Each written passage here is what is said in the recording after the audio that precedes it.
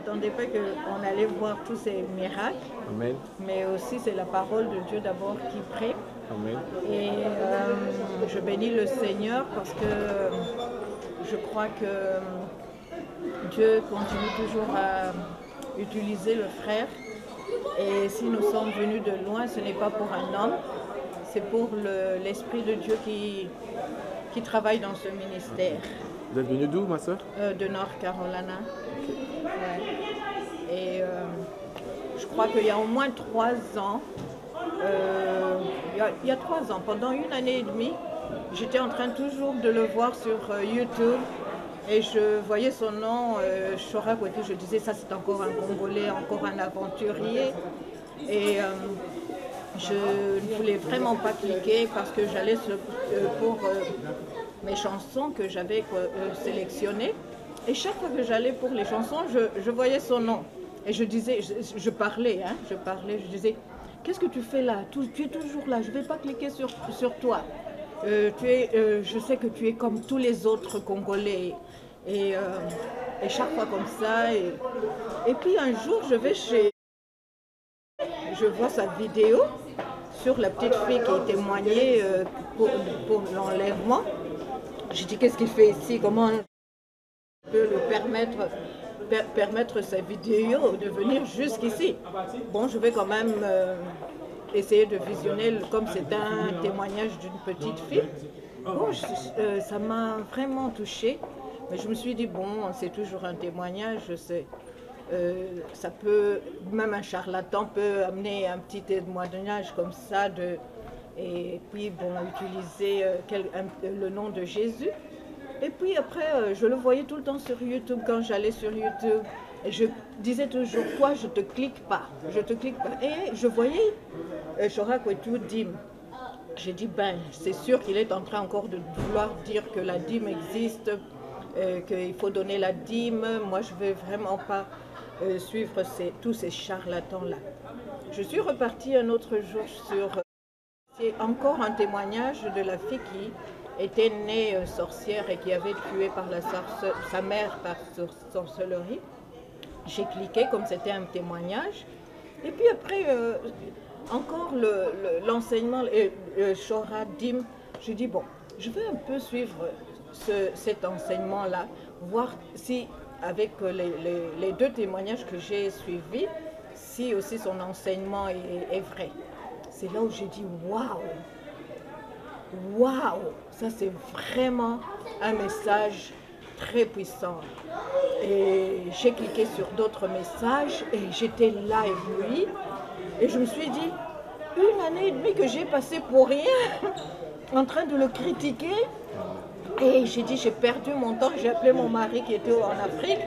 J'ai dit, je viens de découvrir un, un pasteur congolais cette fois-ci. Et c'est vraiment un, pasteur très sérieux. Et puis il me dit, bon, il y a un autre là que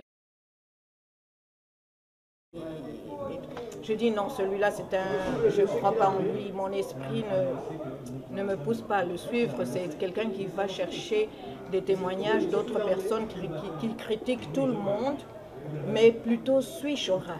Et quand il est rentré en France, il, a commencé à aller à Ivry. Je dis va va le voir, va voir. Et il a commencé à suivre ses enseignements et depuis, euh, euh, je suis beaucoup ses enseignements et ça me fortifie. Ce sont des enseignements que on a été chrétien depuis très longtemps, mais on a perdu beaucoup de temps en train d'écouter des enseignements qui n'étaient pas vraiment bibliques. Et on a parcouru des églises où on a entendu les mêmes euh, messages de, de dîmes, de prospérité et beaucoup de choses pendant que pour le moment, dans le temps de la fin, je crois que nous avons plus besoin de, sa- de savoir où nous allons Amen. et euh, qu'est-ce que nous devons faire pour atteindre euh, la vie éternelle. Et c'est la croix de Jésus, c'est la repentance et c'est le sang de Jésus, euh, le but de, de son, de sa venue sur terre pour nous sauver. Je crois que c'est ça le vrai évangile du moment. Et prêche et surtout être comme Jean-Baptiste et crier que Jésus revient bientôt. Amen. Je crois que c'est ce que je peux dire. Gloire à Dieu, merci ma soeur. Je bénis le Seigneur qui a permis que je participe euh, pour la première fois à cette édition. C'était particulier pour moi parce que euh, j'ai vu la main de Dieu se manifester. Et l'une des choses, moi, qui m'a particulièrement marqué dans le programme, c'est que le nom de Jésus était élevé.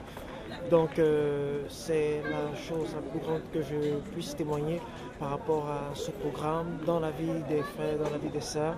Combien de fois le Seigneur s'est manifesté, combien de fois euh, l'homme de Dieu qui rendait ministère amenait beaucoup plus le peuple à faire confiance à la personne de Jésus et toutes les fois où le Seigneur se manifestait au travers d'une délivrance, au travers d'un miracle, c'est le nom de Jésus qui était glorifié. Donc je bénis le Seigneur pour ce fait. Et euh, un tel programme où toute la communauté chrétienne, d'une manière ou d'une autre, venant de, des quatre coins des États-Unis, du monde entier, les gens viennent pour glorifier le nom de l'Éternel, pour réveiller la foi en un, mot dans la vie de chaque personne, c'est particulier, c'est parfait. Donc je bénis le Seigneur pour ces moments et je prie afin que des moments comme ça se multiplient, afin que plus de personnes encore soient bénies et que euh, la famille chrétienne s'agrandisse. Je bénis le Seigneur. Amen. It was a good, euh, c'était un bon temps qu'on a passé. Il y avait beaucoup de bénédictions, des pasteurs, que Dieu les bénisse. Amen. Amen. Merci. Il revient encore pour venir prier encore Amen. pour nous.